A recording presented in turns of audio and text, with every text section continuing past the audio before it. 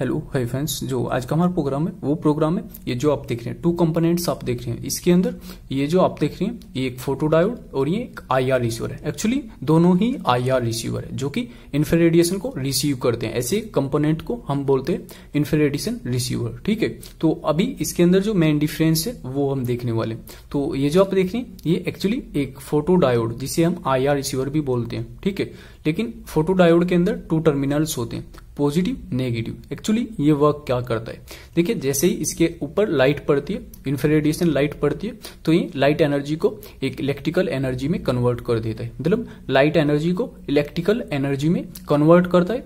जैसे ही लाइट यहाँ पर पड़ती है तो लाइट पड़ने पर ये यहाँ पर इलेक्ट्रिकल करंट दे देता है। ठीक है पॉजिटिव और नेगेटिव ये दे देता है। और ये जो आप देख, इसके अंदर आप देख रहे हैं आई रिसीवर तो आईआर रिसीवर स्पेशली डिज़ाइन किया हुआ है इन्फ्रा रेडिएशन को रिसीव करने के लिए, ठीक है? तो ये एक सेंसर भी आप इसे बोल सकते हैं। इसके अंदर आप देख रहे हैं वन टू थ्री ठीक है? थ्री टर्मिनल आप देख रहे हैं। ये जो टर्मिनल फ़र्स्ट आप देख रहे हैं, ये इसका आउटपुट होता है, जो कि ऑपरेशन के बाद आउटपुट देता है। और ये आप देख रहे हैं, इसके अंदर नेगेटिव है, ठीक है? और ये पॉजिटिव है। आप थ्री वोल्ट या फिर फाइव वोल्ट भी आप दे सकते हैं। ठीक है? तो ये ऐसे वर्क करता है। ये कैसे वर्क करता है? पूरा डिटेल में हमने सर्किट तैयार किए दोनों को देखने वाले। इसके अंदर जो बेसिक मेन डिफरेंस होता है, वो हम देखने वाले। तो देखिए मेन डिफरेंस होता है, ये जो आप देख रहे हैं इन्फ्रेडिएशन जो फोटोडायोड है ये एक्चुअली जो एनालॉग सिग्नल्स होते हैं एनालॉग सिग्नल्स जो टाइम के साथ चेंजिंग में आते हैं, ठीक है? ऐसे सिग्नल को हम बोलते हैं एनालॉग सिग्नल तो उसे रिसीव कर सकता है और आउटपुट दे सकता है, ठीक है? मतलब एनालॉग सिग्नल की रिसीव करने के बाद आउटपुट दे सकता है, ठीक है? और ये जो आप देखें, इसके अंदर ऐसा नहीं है। ये एक्चुअली एक डिजिटल सिग्नल ले सकता है। डिजिटल के बाद ऑपरेशन परफॉर्म करेगा देन आउटपुट डिजिटली हमें दे सकता है। एनालॉग आउटपुट ये नहीं दे सकता। ठीक है? एनालॉग मतलब टाइम के साथ जो चेंज होते हैं, ठीक है? और डिजिटल जो टाइम के साथ कुछ ही टाइम मोमेंट्स के अंदर चेंज होते हैं। ज़ीरो या वन होता है, ठीक है? तो ये ज़ीरो वन को रिसीव करता है देन उसके बाद अपना एक इलेक्ट्रिकल सिग्नल हमें दे देता है आउटपुट हमें दे देता है। आप इसे एक्टिव कंपोनेंट भी बोल सकते हैं क्योंकि एक्टिव जो कंपोनेंट होते हैं, उसे जो ऑपरेट करने के लिए एक्सटर्नल पावर सप्लाई की आवश्यकता होती है। तो इसे भी चलाने के लिए एक्सटर्नल पावर सप्लाई की आवश्यकता होती है। इसके लिए कोई भी आवश्यकता एक्सटर्नल पावर सप्लाई की नहीं है। इसे आप पैसिव कंपोनेंट बोल सकते हैं।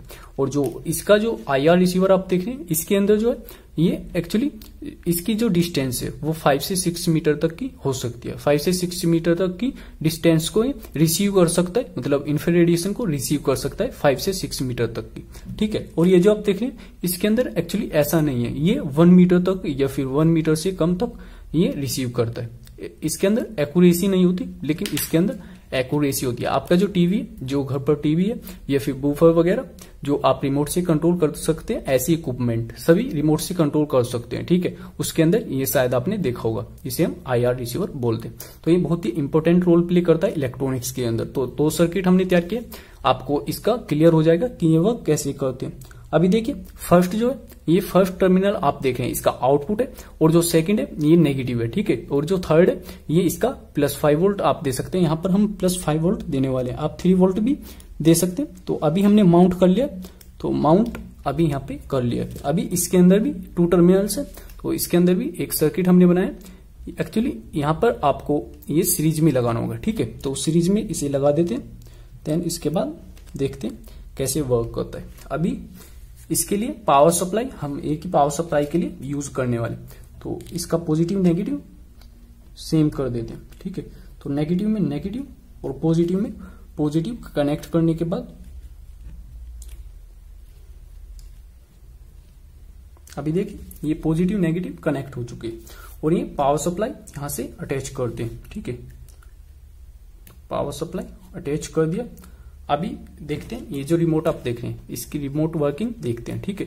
तो अभी देखिए, ये हम जैसे बटन पुश करते देखिए बटन पुश करते तो जो इन्फ्रेडिएशन वो कम रिसीव करता है। लेकिन ये देखिए एक्यूरेट एक रिसीव करता है। ये बहुत डिस्टेंस से कवर कर सकता है। ठीक है? ऐसा पॉसिबल नहीं है कि हम आपको डिस्टेंस से दिखा सकें। लेकिन शायद आपको इसके जो डिफरेंस है मेन डिफरेंस आपको क्लियर होगा। ठीक है? तो लेकिन इसके अंदर हम एनालॉग सिग्नल में जनरेट करा सकते हैं। इसके अंदर डिजिटली सिग्नल जनरेट करा सकते हैं। कोडिंग जनरेट करा सकते हैं। ठीक है?